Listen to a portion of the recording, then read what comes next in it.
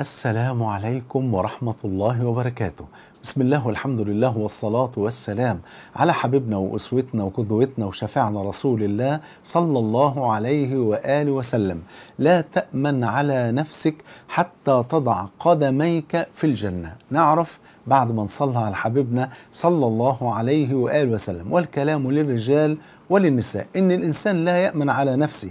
فالله أعلم بمن يحسن من يكتب له حسن الخاتمة وبمن يكتب له سوء الخاتمة. ولذلك النبي صلى الله عليه وسلم قال إنما الأعمال بالخواتيم. ومناسبة هذا الحديث كما ورد في البخاري ومسلم أن النبي صلى الله عليه وسلم كان في غزوة أحد وكان هناك صحابي كان يقاتل كأشد ما يكون القتال ولم يذكر اسمه.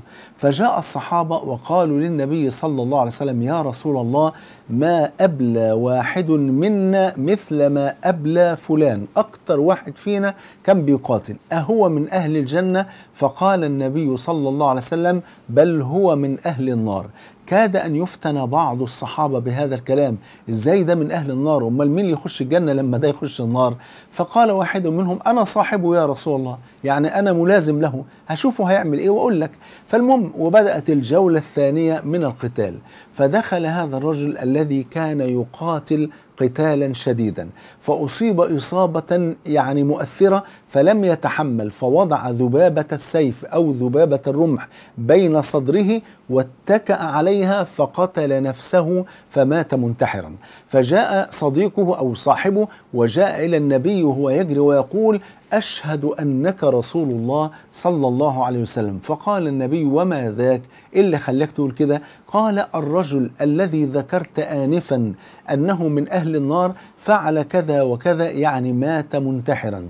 فوضع النبي صلى الله عليه وسلم تلك القاعدة العامة للصحابة وللأمة من بعدهم. فقال صلى الله عليه وسلم إن الرجل ليعمل الزمان الطويل بعمل أهل الجنة.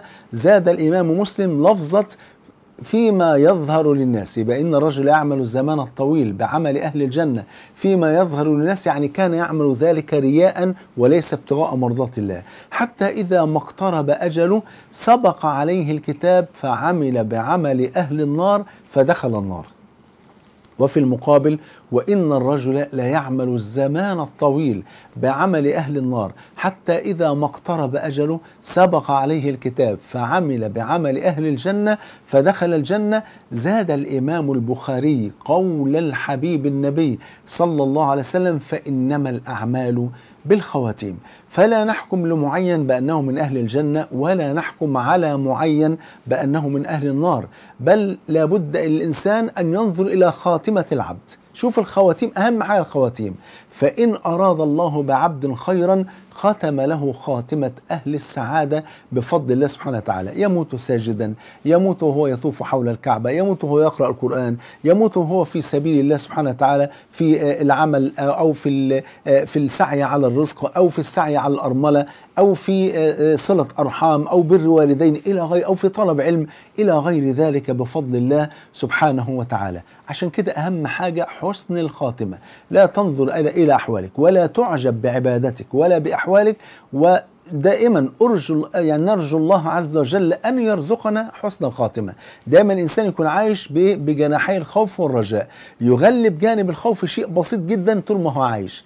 عند الموت أو عند المرض بتاع الموت يغلب جانب الرجاء حتى يلقى الله وهو حسن الظن بالله كما أمرنا النبي صلى الله عليه وسلم كما عند مسلم قال لا يموتن أحدكم إلا وهو يحسن الظن بالله. إذا فلا بد للإنسان ألا يأمن على نفسه حتى يضع قدميه داخل الجنة. ولذلك قيل للإمام أحمد رحمه الله رحمة واسعة متى الراحة يا إمام؟ قال والله لا راحة إلا مع أول قدم نضعها في الجنة. أسأل الله عز وجل أن يجمعني وإياكم مع سيد ولد آدم صلى الله عليه وسلم في الفردوس الأعلى. أحبكم في الله والسلام عليكم ورحمة الله وبركاته.